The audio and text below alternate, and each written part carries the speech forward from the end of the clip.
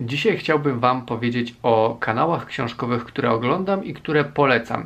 Chciałbym powiedzieć właśnie o tych, a nie o innych, z tego względu, że być może nie wszyscy z, nas, z Was e, zdają sobie sprawę z tego, że takie kanały istnieją, albo że kanał, który jest kanałem na YouTube, jest też kanałem y, booktubowym, czyli opowiada o książkach.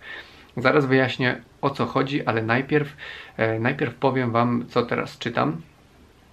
Y, być może niektórzy się domyślają, jeżeli śledzą mojego Instagrama albo Facebooka, gdzie serdecznie zapraszam. Czytam teraz książkę o kraju muminków, o Finlandii. Kocie chrzciny, taki tytuł. Lato i zima w Finlandii, taki podtytuł. Małgorzata Sic. Znowu nie dowiedziałem się, jak się wymawia to nazwisko, więc przepraszam, jeżeli wymawiam je źle.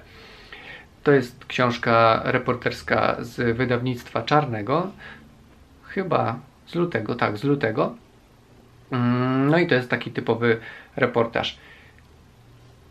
Po części mi się podoba, na razie po części mi się nie podoba powiem o tej książce więcej albo napiszę o tej książce w mediach społecznościowych więcej, więc śledźcie, mm, śledźcie kanał i śledźcie YouTube'a i Instagrama i Facebooka. A teraz już powiem Wam o tym, co oglądam, jakie kanały oglądam.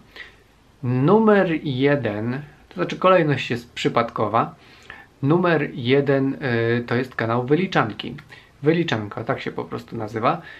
Y, znajdziecie tam rozmowy z pisarzami.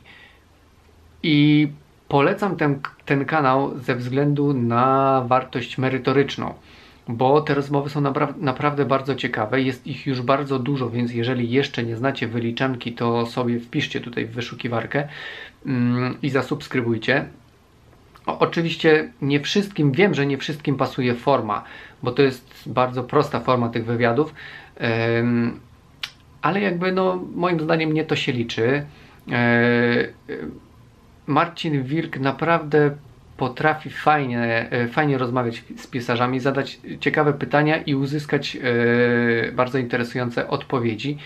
Więc, e, no więc polecam, po prostu polecam. Zobaczcie sobie, mm, to są rozmowy z pisarzami naprawdę dobrymi i to naprawdę są, to są pisarze tacy pierwszoligowi, jeżeli miałbym tutaj użyć metafory sportowej, więc polecam. Wyliczanka. Rozumiem, że forma nie jest wyszukana, ale chodzi o treść. Kanał numer dwa to jest kanał Joli Szymańskiej. Jola Szymańska od niedawna opowiada o książkach, mm, a że dzisiaj zdałem sobie sprawę, że przez to, że wcześniej opowiadała o czym innym, między innymi o, o religii, o duchowości i o psychoterapii, jej kanał urósł, no bo wszystko jest bardziej interesujące od książek, ale teraz Jola porzuciła te religijne tematy i zajęła się opowiadaniem o książkach i o psychoterapii. Bardzo lubię klimat jej filmów, e, bardzo lubię tą estetykę mm, i podoba mi się to, że Jola Szymańska mówi teraz bardzo dużo o reportażu, bo jest po szkole, po polskiej szkole reportażu, jest też reporterką, publikowała między innymi w Tygodniku Powszechnym, więc e, w bardzo dobrym, e, bardzo dobrym piśmie. Tym bardziej polecam. E, czyta bardzo fajne książki, no i bardzo dobrze o nich opowiada, więc jeżeli szukacie jakiejś inspiracji, głównie non-fiction, ale nie tylko, mm, to polecam kanał Joli Szymańskiej, po prostu Jola Szymańska. Coś tu mi się zruszyło. I teraz będzie kanał no, nie książkowe, ale na którym również możecie znaleźć rozmowy z pisarzami, a głównie z reporterami i z reporterkami. E, to jest dział zagraniczny. Dział zagraniczny to jest, to najpierw była strona internetowa, blog właściwie o tym, co dzieje się na świecie, mm, taka magazynowa można by powiedzieć. Mm, niedawno, jakieś pół roku temu, a może troszkę więcej, powstał podcast i ten podcast właśnie jest dostępny na wszystkich y, platformach podcastowych, ale jest też dostępny na YouTubie i y, z tego względu Wam go polecam, bo można tam na przykład znaleźć y, rozmowy czy to z Joanną Gierak-Onoszko o Kanadzie w kontekście książki 27 śmierci Tobiego Obeda, która to była książką, jednym z najlepszych reportaży 2019 roku. Można tam znaleźć wywiad na przykład z Agatą Romaniuk, Romaniuk która napisała bardzo ciekawy reportaż z Omanu. Mi, z miłości to współczuję. O tym, jak inaczej na związki, na miłość i na małżeństwo mm, patrzą y, Omańczycy albo społeczeństwo Omanu. Mm, I mimo, że to nie jest do końca stuprocentowo książkowy kanał, to możecie tam znaleźć naprawdę bardzo ciekawe rozmowy, głównie z reporterami. A że wy tutaj też czytacie bardzo dużo reportaży, no to polecam, polecam bardzo serdecznie. I przy okazji, właśnie, jak już jesteśmy przy takich podcastowych tematach, uruchomiłem niedawno we współpracy z Virtualo, e, zrobiliśmy podcast o audiobookach i to jest odrębny podcast dostępny e, na, na Spotify'u, na w iTunesie, w Google Podcast i w tych innych platformach podcastowych. Podcast nazywa się Słucham, recenzuję, tak jak mój blog nazywa się Czytam, recenzuję.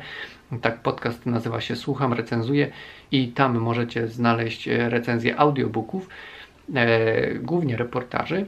Na razie wyszły dwa odcinki, za chwilkę będzie trzeci, w czwartek będzie trzeci, mm, więc polecam. I on też jest dostępny na YouTubie, dlatego o tym mówię na profilu Virtualo, więc jeżeli sobie piszecie mm, wyszukiwarkę teraz Virtualo, to tam między y, próbkami audiobooków będą całe odcinki, e, całe odcinki tego podcastu, więc też polecam.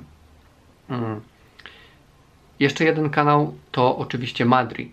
E, Madri, którą już tutaj polecałem, ale więc nie będę się e, specjalnie rozgadywał, ale muszę o niej wspomnieć, bo to jest też bardzo wartościowy kanał. Jeżeli nie znacie Madri, to polecam. Madri opowiada nie tylko o literaturze faktu, chociaż też bardzo często, ale po prostu o dobrej literaturze i jest w swoich e, wypowiedziach, w swoich opiniach bardzo wyrazista, więc tym bardziej warto, bo mało jest e, takich osób na YouTubie, właściwie chyba nie ma nikogo, kto tak wyraziście opowiada o książkach. No, a teraz e, zadanie dla Was. Napiszcie, jakie Wy polecacie kanały na YouTubie, które warto śledzić, e, w których możemy znaleźć książkę. Niekoniecznie, niekoniecznie te najbardziej znane.